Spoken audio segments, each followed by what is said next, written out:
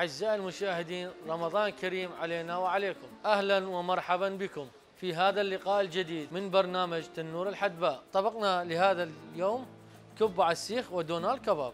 مكونات طبق الكبة السيخ اللحم المثروم والجريش المنقوع والفلفل الأسود.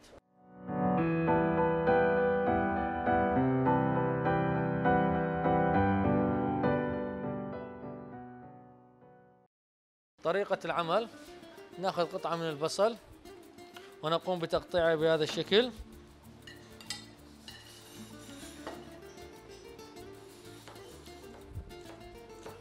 تقطيع ناعم جدا.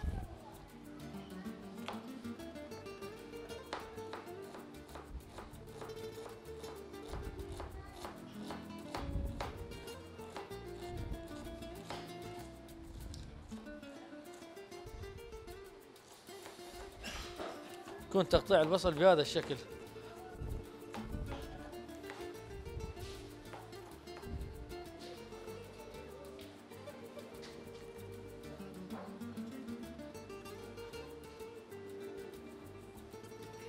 ثم ناخذ كمية من اللحم المسروم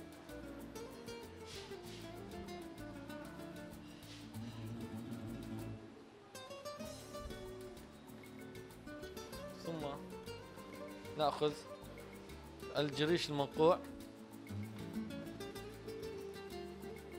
طبعا هذا الجريش ينقع لمدة خمس دقائق أو أكثر إذا حبيتم يعني. مدة نقع الجريش خمس دقائق. وملعقة من الفلفل الأسود.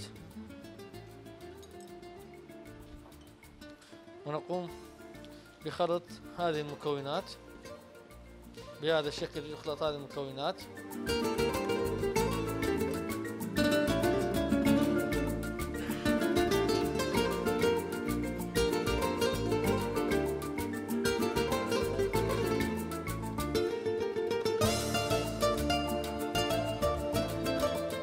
خلطا جيدا حتى يتجانس جميع مكونات الجريش والبصل والفلفل الأسود مع اللحم المثروم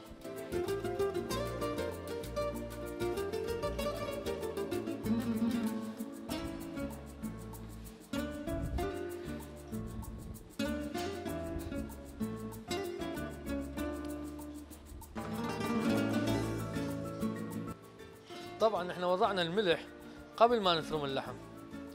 دائما نضع ملح الكباب على اللحم قبل الثرم قبل تقطيعه في الماكينة حتى يتجانس الملح مع اللحم.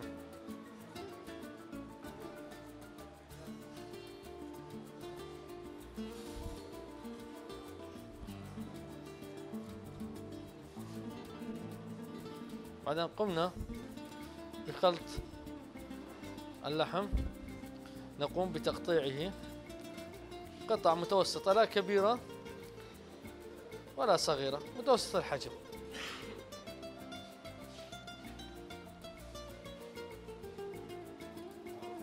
بهذا الشكل نقوم بتقطيع القطع.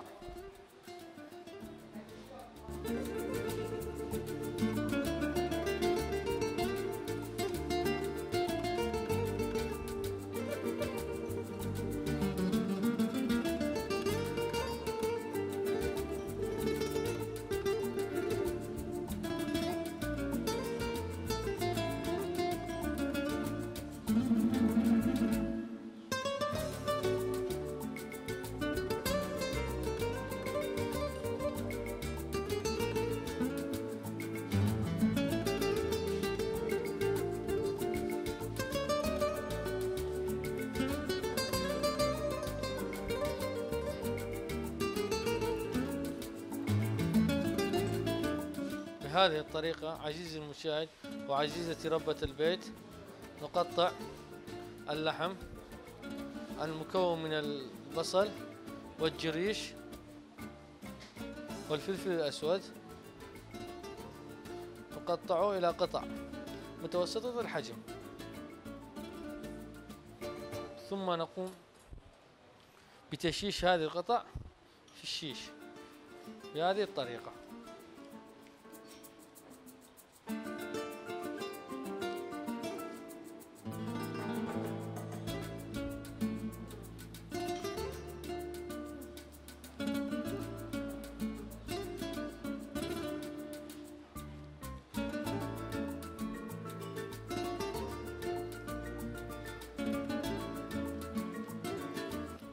الطريقة يكون تشيش هذه القطع.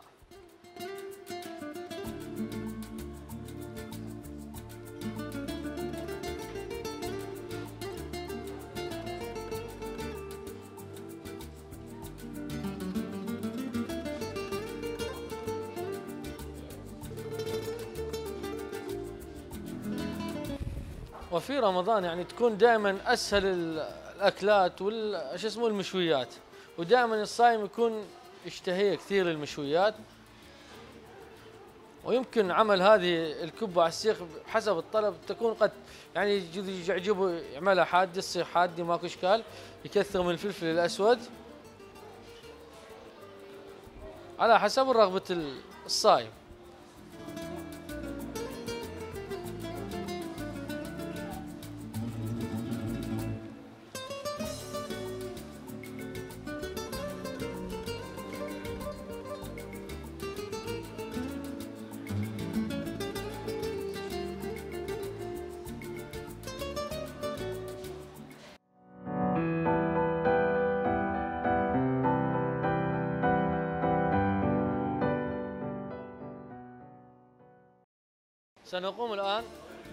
الكبة على السيخ سيخ على النار. طبعا هاي الكبة من مثل ما ذكرنا تتكون من الجريش المنقوع والفلفل الأسود والبصل المقطع. وتضع لدقائق قليلة يعني دقائق معدودة. مدة ثلاث دقائق أربع دقائق تضع على النار.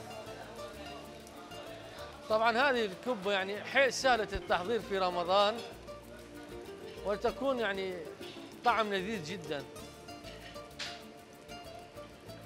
ومن مكونات بسيطة تتكون الكبة على مكونات جدا بسيطة.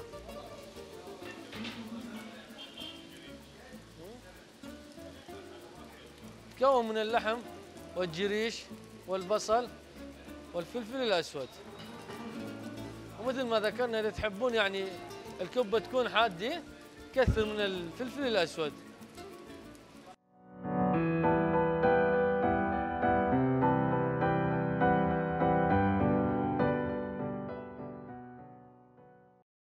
بعد ما أكملنا شوي الكبة على السيخ نقوم تشميط الشيش بهذا الشكل.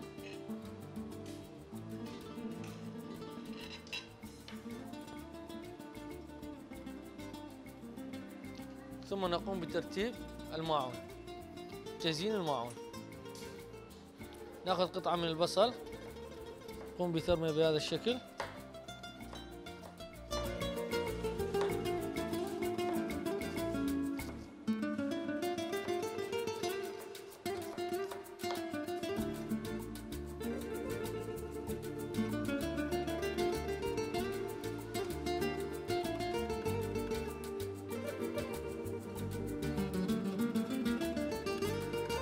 بعد أن قمنا بثرم البصل نضع ملعقة من السماق.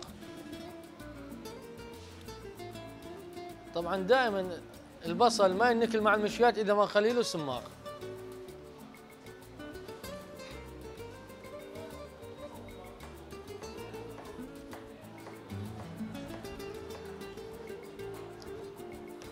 نقوم بتقطيع الطماطم بهذا الشكل.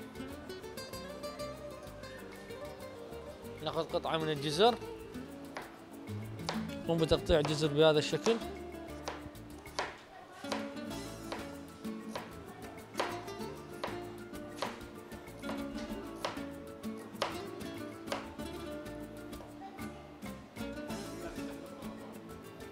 وعمل المشويات دائما يكون سهل برمضان. تقريبا أسهل جميع الأكلات اللي تنعمل برمضان. والمرغوبة عند الصائم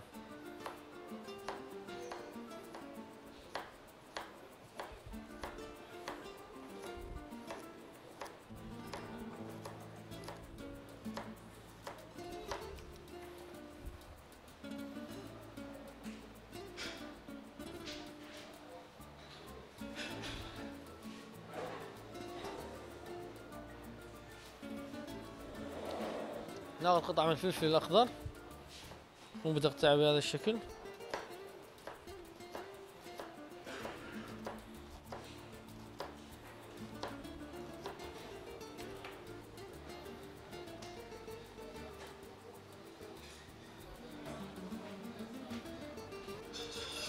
نضيف حبات من الزيتون. والزيتون جدا مفيد يحتوي على مادة زيت الزيتون. ونضع الطرشي. طبعا ما يحتاج أحكي لكم عن الطرشي لأن الموصل تقريبا المحافظة الوحيدة المشهورة بعمل الطرشي. والطرشي دائما تكون يعني شهوة الصائم برمضان.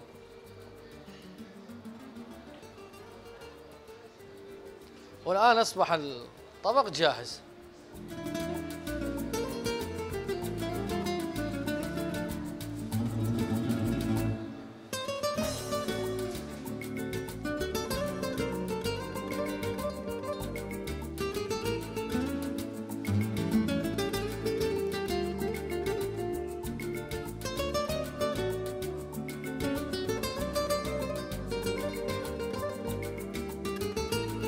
بعدما قمنا بتحضير طبق الكبة على السيخ وتزيين الطبق وترتيبه نقوم الآن بتحضير طبق كونال كباب. ناخذ هذا طبعا 200 غرام من الطحين نضيف ملعقتين من الخمرة وملعقة من الملح مع إضافة قطعة من البيض.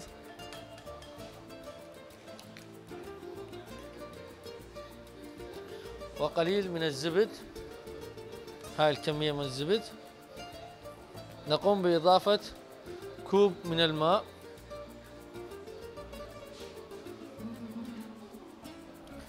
ونقوم بعجن هذه العجينة. بهذه الطريقة.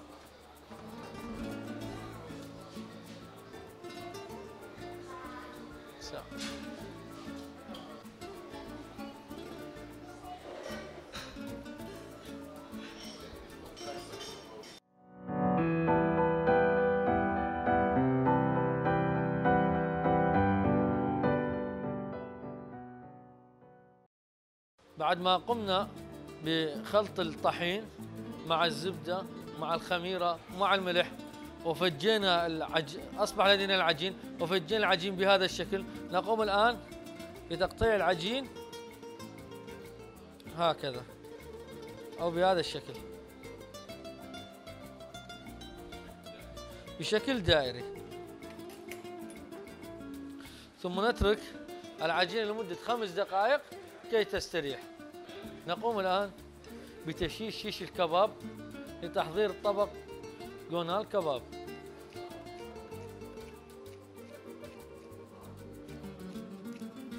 تشييش شيش الكباب بهذه الطريقة.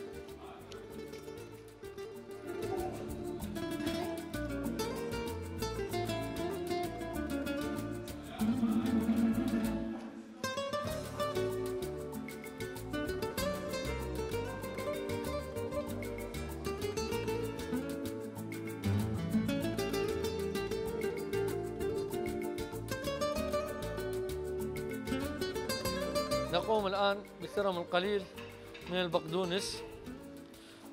يكون تقطيع البقدونس بهذا الشكل ناعم جدا ناعم. لتحضير طبق كباب جونال كباب.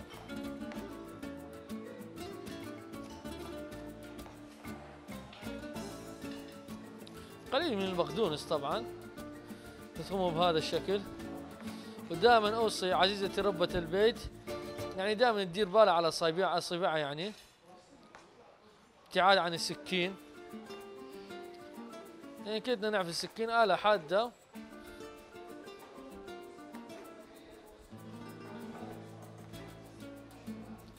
ناخذ قطعة من الطماطة. ونقوم بثرمه بشكل ناعم جدا ناعم. بهذه الطريقة.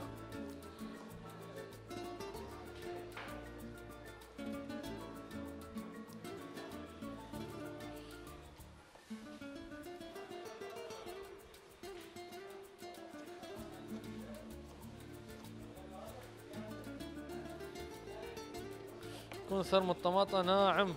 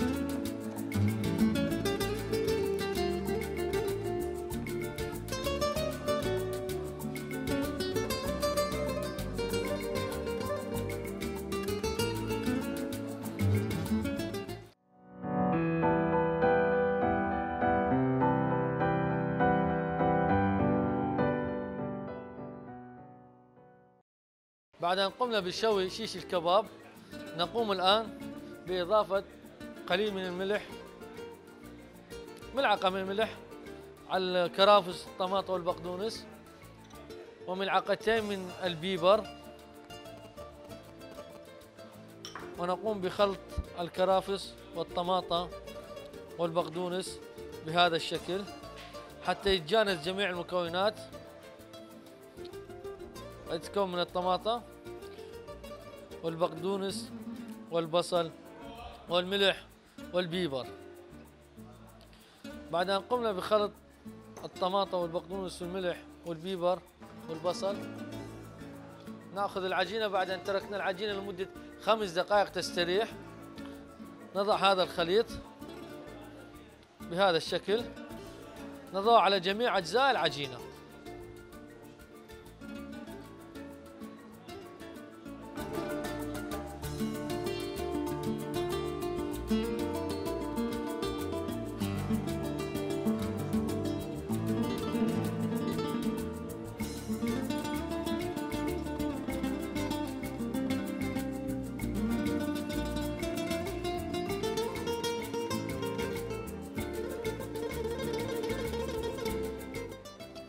بعد أن قمنا وضع هذا الخليط نقوم الآن بسحب شيش الكباب.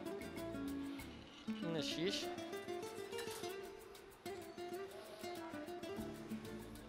نقوم بتقطيع الكباب.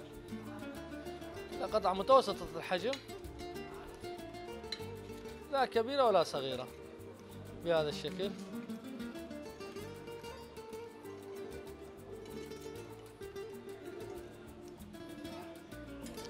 ونقوم بوضع قطع الكباب على العجينة بهذا الشكل.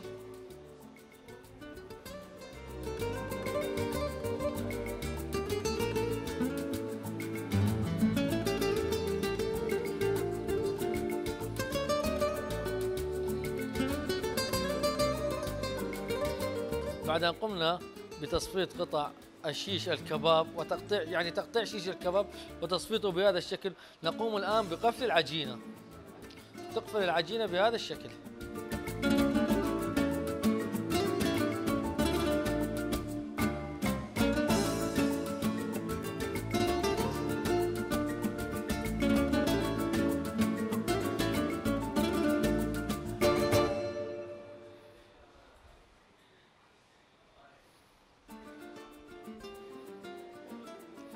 بهذا الشكل نقوم بإقفال العجينة. يعني معناه تقدير العجينة.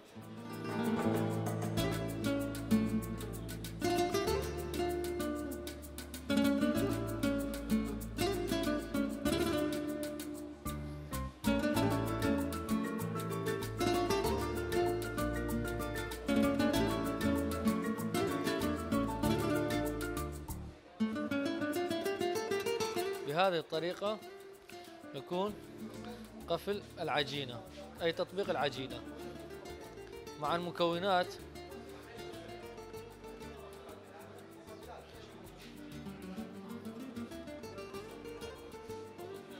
والآن بعد أن أتممنا قفل العجينة نقوم الآن بإدخالها بالفرن.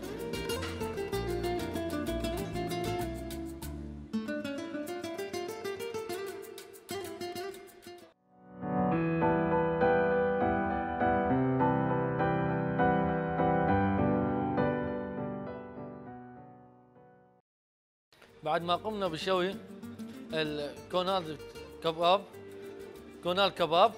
الآن نقوم بتقطيع وضعه في الماعون. نقوم بتقطيعه بهذا الشكل.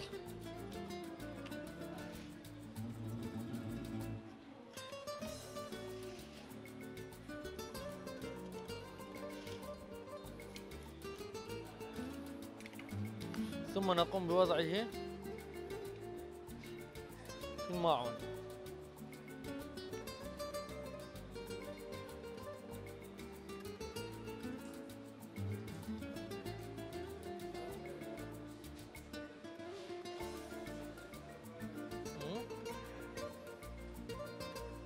بعد أن قمنا بتقطيع جوناد التراب الآن نضع قليل من الخضروات لتزيين الماعون نأخذ قطعة من الطماطة نقوم بتقطيعها بهذا الشكل.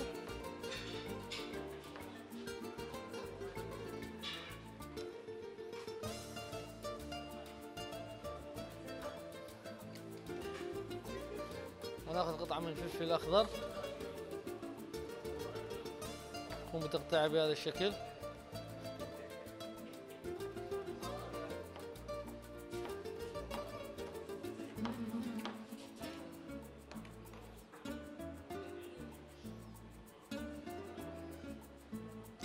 ناخذ حبات من الزيتون.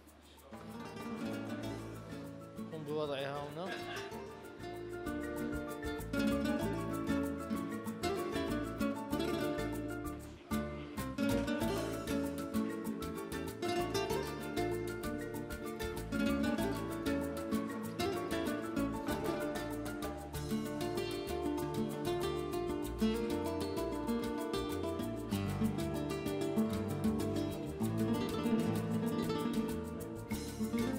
بعد ما انهينا عمل طبق دونالد كباب وكبة السيخ نأتي إلى ختام حلقتنا لهذا اليوم من برنامج تنور الحدباء صيام مقبول وفطور شهي إلى اللقاء.